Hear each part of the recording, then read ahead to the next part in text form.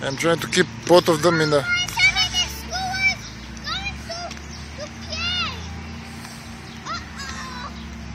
Okay, drive. Right. Yeah.